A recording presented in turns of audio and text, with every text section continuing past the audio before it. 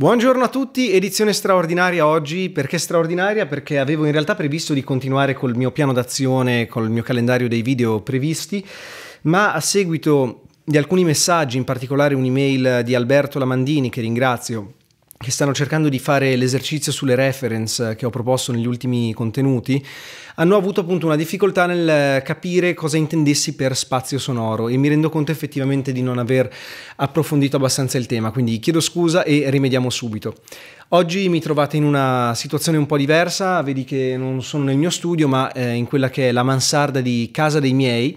non proprio la casa dove sono cresciuto, ma la casa comunque dove ho iniziato a fare musica anni fa. E questo luogo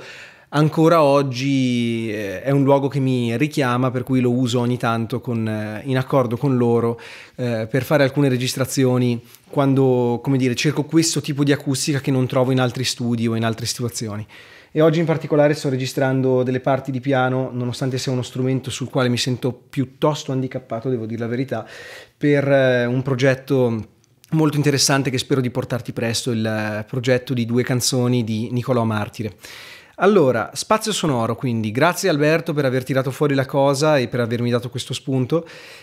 Cosa intendo per spazio sonoro? Intendo una cosa molto letterale in realtà, no? proprio il, il, modo in cui percepiamo lo spazio quando ascoltiamo una musica. E ci sono due elementi fondamentali all'interno del cappello, macro cappello spazio sonoro. Uno è proprio la posizione all'interno dell'immagine stereo, quindi il panning sostanzialmente o nel caso dell'Atmos ovviamente eh, insomma la posizione proprio spaziale. E l'altro che in realtà eh, non dipende dalla quantità di diffusori che noi usiamo per, eh, per la riproduzione della musica ma quindi è un elemento che vale anche per il suono monofonico è la percezione di posizione nella profondità e questa cosa ha radici molto antiche, adesso senza farvi un pippozzo storico, però se pensiamo alle prime registrazioni veniva usato un microfono solo all'interno della stanza e per cambiare il mix, proprio diciamo così, l'equilibrio tra, varie, tra i vari elementi, tra i vari musicisti, i musicisti si allontanavano o avvicinavano al microfono appunto. E questo sì cambia l'intensità sonora ma cambia anche quello che è il rapporto tra il suono diretto e il suono riverberato. Cioè per farla brevissima il suono della mia voce per arrivare al microfono ci mette pochissimo in questo caso perché sono molto vicino mentre il suono riflesso ci mette molto di più perché va fino al tetto e torna, eh, e torna indietro no? va fino al, al soffitto e torna indietro Ecco, quindi la percentuale tra questi due suoni, suono diretto e suono riflesso, che si determina avvicinandosi o allontanandosi dal microfono, eh, dà un, eh, un, effetto che non è soltanto di intensità sonora di quello strumento, ma anche di quanto viene percepito lontano. Ok? Chiaramente tutto questo è stato poi anche eh, simulato attraverso l'utilizzo di riverberi, di mandate, eccetera, eccetera, insomma. E um, quindi quando io dico di analizzare lo spazio sonoro di un brano, intendo proprio di focalizzarsi su questa questione qua, no? su quanto noi percepiamo distanti o ravvicinati certi strumenti, di quanto sentiamo la stanza di ripresa o nel caso di riverberi artificiali, riverbero artificiale e poi in secondo luogo a livello di proprio posizionamento nell'immagine stereo eh, capire come sono posizionati gli strumenti e eh, ovviamente questo anche nell'ottica di capire quando una performance è reale, cioè ad esempio se siamo nella stessa stanza tutti assieme a suonare e quindi si sente la eh, distanza e l'effettiva posizione degli strumenti o quando invece è uno spazio sonoro virtuale costruito. E um, perché è molto importante questa cosa? Perché capire quale tipo di spazio sonoro ti piace, quale tipo di spazio sonoro senti tu e, e, e, dire, percepisci affine al tuo modo di fare musica, determina moltissimo quello che sono poi le scelte di registrazione. Ad esempio qua banalmente, eh, a, sec- a, a, a, seguito del, dello studio che abbiamo fatto sul suono che volevamo ottenere, questo pianoforte in questo momento è stato registrato con un certo tipo di tecnica, cioè vedete questi due microfoni sulla parte davanti molto vicini che prendono proprio il suono delle corde e anche delle meccaniche, perché qua se io banalmente schiaccio il pedale si sente molto, anche se, se sto molto delicato si sente molto questo suono. Sul retro ci sono altri due microfoni che prendono tutto un altro tipo di suono, molto più morbido, che sarà in realtà il suono principale usato in queste canzoni e eh, in questo caso non avevamo così bisogno di riprendere l'ambiente per cui c'è giusto un microfono dinamico mono là per terra per riprendere un pochino l'ambiente.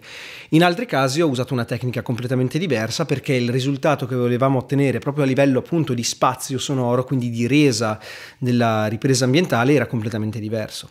Ma al di là anche delle scelte tecniche, è proprio il modo in cui viene percepita poi la musica. Cioè una, una musica eh, con un certo tipo appunto di profondità può avere un effetto completamente diverso, per cui quando analizzi i tuoi brani che vorresti che fossero reference, e scegli quale ti piace per spazio sonoro, focalizzati proprio su come ti piace percepire la musica. Vuoi che tutto sia molto asciutto e in avanti e eh, ultra presente, tipo un muro di suono che ti arriva addosso? Vuoi sentire molta profondità? Perché sono cose molto diverse, sono scelte anche molto diverse che impattano moltissimo sul modo di, di arrangiare, sul modo di produrre, sul tipo di studio da scegliere, sul tipo anche di strumenti e di microfoni da scegliere e eh, anche sul numero tra l'altro di, di microfoni necessari per, per, fare un certo tipo di produzione o meno. Quindi è bene avere subito chiaro qual è il tipo di suono che si sta cercando che chiaramente deve essere eh, sempre eh, come dire affine a te e rappresentativo un po' di quello che è il tuo mondo il tuo immaginario appunto sonico. Uh, potrei portarti semplicemente degli esempi per fartelo capire. Eh, ad esempio ascoltati, che so io, No One Knows dei Queens of the Stone Age, dal, dall'album Song for the Deaf, e lì sentirai un certo tipo di, di, suono, un certo tipo di spazio sonoro, un certo tipo di o meno ambiente e riverberazione, e subito dopo vatti ad ascoltare eh, il disco Exodus di Bob Marley and the Wailers, ad esempio ti direi Natural Mystic, oppure anche altri brani sempre, sempre di Bob and the Wailers, come potrebbe essere um, Is This Love, per, esempio, no? eh, vai a sentirti quei brani e fai il confronto con i brani di, uh, dei Queens of the Stone Age da Song for the Deaf o anche magari un certo, una certa band, la stessa band o lo stesso artista nell'arco della sua carriera come cambia il proprio, il proprio spazio sonoro, come cambia la dimensione del suono. Non lo so, i vecchi dischi dei Pink Floyd rispetto ai dischi degli anni Ottanta, sempre dei Pink Floyd, potrebbe essere un esempio ma ce ne potrebbero essere un milione, anzi ti invito anche a portare dei tuoi di esempi, parliamo di questo tema di spazio sonoro, è un tema che evidentemente non è trattato abbastanza, altrimenti non ci sarebbero state queste domande, non, non ci sarebbero stati questi dubbi. Ed è un tema importantissimo perché appunto eh, è, il, è la prima chiave della percezione eh, quando tu ascolti una musica vieni proiettato immediatamente in un certo tipo di mondo a seconda se il suono è molto ambientale, se il suono è molto asciutto, se gli strumenti sono tutti spiattellati davanti, se gli strumenti sono posizionati in modi diversi nello spazio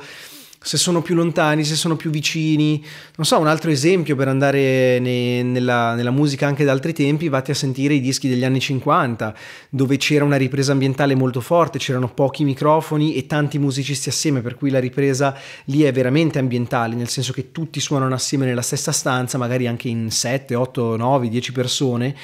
e si sente molto chiaramente la posizione degli strumenti rispetto ai microfoni, per cui senti magari più riverbero naturale su alcuni strumenti, meno su altri, senti che magari è stato aggiunto del riverbero artificiale su, alcune, su alcuni elementi, ad esempio la voce, ad esempio su altri no. Insomma, cercare di focalizzarsi un attimo su quello che sono proprio gli elementi che costruiscono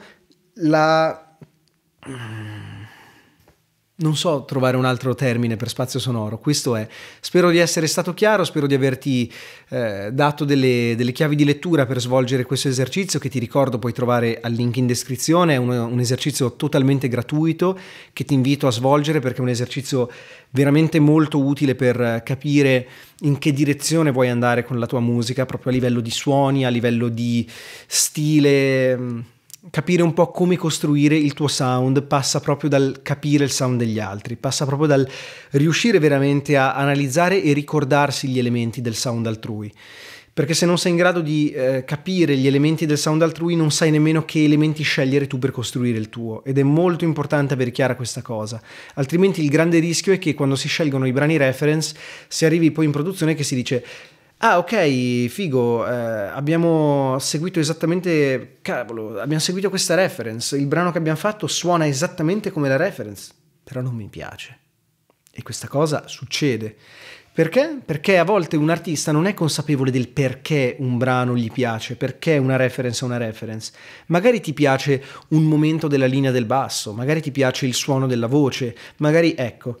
capire questi elementi e eh, quindi selezionare dei brani in base agli elementi, in modo che le reference sia chiaro per cosa servono. Non servono per scopiazzare, non servono per ispirarsi così a caso che non vuol dire niente, ma servono proprio per dare un'idea a chi lavora con te sul tuo progetto musicale su che tipo di risultato vuoi ottenere e su come raggiungerlo. Quindi se tu capisci che ad esempio un brano è una reference per proprio questo elemento dello spazio, lo, lo, dici che è quell'elemento che ti piace, che non è magari proprio la melodia o il modo in cui è suonata la batteria, ma più come suona il, l'insieme, no? quindi com'è l'impatto generale del brano. Mentre quando sceglierai per gli altri quattro elementi, che lo ricordo sono il flow, arrangiamento ritmico, di cui andrò ad approfondire il, il tema nel prossimo video, eh, l'arrangiamento strumentale, la linea melodica principale o linea vocale e il contenuto, Ecco, ovviamente separa bene queste cose in modo che ti sia chiaro, ma eh, lo so, sembra magari un esercizio un po' meccanico e che dici, eh vabbè, ma a me piace questo, quello, quell'altro. Sì, però se tu riesci veramente a separare in questi, in questi cinque macro elementi, in queste cinque macro aree, il motivo per cui una, un brano che tu scegli può essere o meno una reference per il tuo progetto, ti sarà molto più chiara l'immagine generale dei lavori e riuscirai in modo eh, molto più chiara comunicare con chi lavora con te e quindi sarà molto più semplice portare la tua idea al suo massimo sviluppo. Ti ringrazio per l'attenzione e ci vediamo al prossimo video per parlare di timing o flow e arrangiamento ritmico.